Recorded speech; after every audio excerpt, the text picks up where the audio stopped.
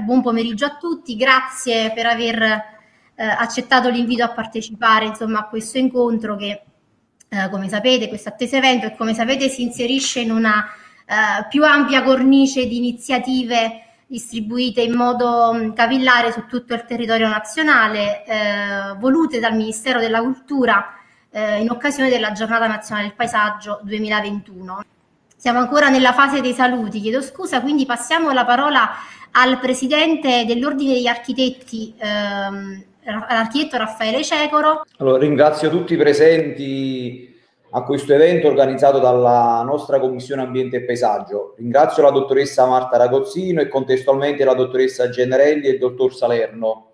Io mi limiterò a fare dei saluti molto brevi perché purtroppo siamo in seduta di consiglio, abbiamo fatto una piccola pausa ecco, per, per onorare questo impegno e perché ci tenevo veramente ad essere presente. È da qualche anno che il 14 marzo è dedicato a celebrare il paesaggio italiano, quindi promuovere la cultura del paesaggio in tutte le sue forme. Purtroppo questo è il secondo anno che uh, questi eventi vengono, come dire, uh, messi in essere a distanza perché ci troviamo, ci siamo trovati sia l'anno scorso che quest'anno ad avere una giornata del paesaggio con musei, parchi archeologici e siti culturali tutti chiusi. Questo è un grande rammarico, ma, ma purtroppo è l'unica modalità per riuscire a portare avanti questa iniziativa. Uh, io mi limito come sempre a fare i complimenti alla nostra commissione che riesce sempre a dar vita a degli eventi di elevato spessore culturale. Ringrazio tutti i colleghi presenti e mi scuserete se fra qualche minuto sarò costretto a disconnettermi, ma purtroppo abbiamo una seduta di consiglio molto lunga e per questo non potrò rimanere a farvi compagnia fino alla fine. Ringrazio tutti e vi auguro buon lavoro. Grazie Presidente, grazie mille. Eh, adesso passiamo la parola al Presidente della Commissione, della mia Commissione, in effetti di cui io faccio parte ormai un decennio, eh, quindi la Commissione Ambiente, Paesaggio, Sostenibilità, Bioarchitettura, eh, quindi presieduta dall'architetto Massimo Carfora Lettieri, a cui diamo la parola. Prego Presidente. Buonasera, grazie, grazie agli intervenuti a tutti, eh, grazie alla, alla, possibilità che ci è stata offerta dalla, dalla, direzione regionale dei musei della Campania e dal, dai musei presieduti e diretti dalla dottoressa Generale e dal dottore Salerno di eh, poter organizzare e condividere assieme questo, questo evento, questo evento mh, importante perché eh, è importante la tematica che eh, che andiamo ad affrontare. Come Presidente della Commissione, eh, come architetto, ma come cittadino di questa terra, mi,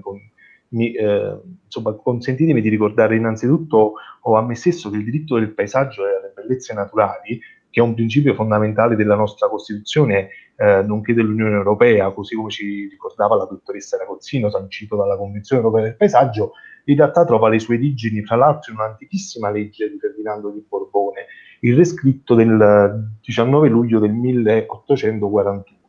Eh, questa cosa eh, che eh, non è irrilevante, non è rilevante perché eh, insomma, possiamo affermare come cittadini di questa terra che la cultura, eh, la tutela, la valorizzazione del paesaggio e del progetto del paesaggio è insita nel nostro, oh, nel nostro DNA, proprio nel, mos- nel, nostro modo di essere, nel nostro modo di eh, rapportarci col territorio. Uh, ma al tempo stesso uh, insomma, mi vengono in mente mh, le parole di, uh, di, Italo Calvino quando descrive Isaura, cioè noi non dobbiamo dimenticare che talvolta un paesaggio invisibile condiziona quello visibile, cioè tutto ciò che si muove al sole è spinto dall'onda che batte chiusa sotto il cielo calcareo della roccia. Quindi l, sono questi momenti quindi, di incontro, come quello di oggi, dove ehm, di incontro, di confronto sulle varie tematiche affrontiamo, che affrontiamo fanno sì che questi paesaggi invisibili, che non devono essere sempre per forza letti ed interpretati in maniera negativa,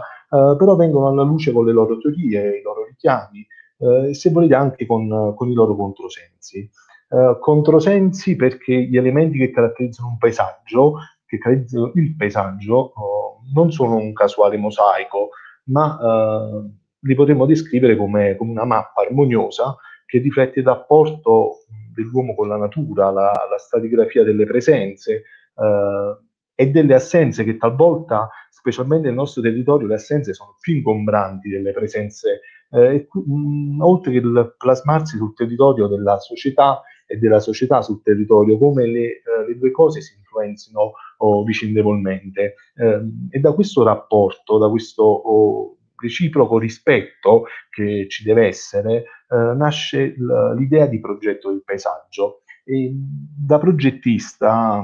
da architetto, allora l'interrogativo oh, che ci poniamo è, mh, spesso è quello di capire qual è il ruolo che una strada, un manufatto, una stanza, un qualsiasi spazio d'uso in generale eh, si deve, eh, come si comporta, come si relaziona con il paesaggio e come il paesaggio recepisce, recepisce scusate, o, o addirittura adotta eh, questi elementi. Allora mh, mm, prende, prendiamo a modello una stanza, una stanza con una, con una, finestra affacciata sul paesaggio. È inevitabile che il punto di vista o i diversi punti di vista eh, cambiano in una frenetica ricerca di equilibrio, eh, quell'equilibrio che rappresenta la nostra capacità di lettura e di interpretazione del contesto, che eh, rende unico un paesaggio in un, in un determinato momento, proprio perché riflette quelle che sono oh, gli elementi della società che portano oh, alla qualità e alla tipologia di lettura. Eh, noi insomma dobbiamo ricordarci, non dobbiamo dimenticarlo, anzi, che viviamo in un paese eh, il cui paesaggio è eh, noto universalmente, un paese eh, che a ragione è stato definito un, uh, un museo diffuso, cioè tutta l'Italia è un museo a cielo aperto. Um, statisticamente uh, in Italia quasi un comune su tre ospita un museo e quindi i musei eh, ovvero le istituzioni museali, perché giustamente, come diceva la dottoressa, eh,